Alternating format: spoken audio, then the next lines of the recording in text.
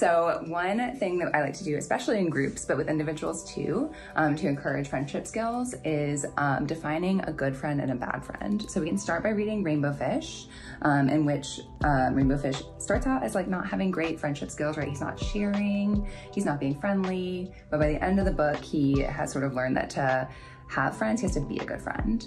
Um, so after we read the book, we can build a good friend and a bad friend. So we use recycled materials and they usually end up looking like little robots. Um, but then we decorate them with stickers or tape or fabric or markers, whatever they want, um, to include qualities of a good friend, like having a kind heart or big ears for being a good listener. Um, and then for the second one, you do what are some qualities of a bad friend? Um, so it might be like a scowl because they're mean to you or, um, you know, writing something kind of like mean on it, like they gossip. Um, so that that can help kids have tangible reminders of not only what friendship qualities to look for in others, but also how to be a good friend themselves.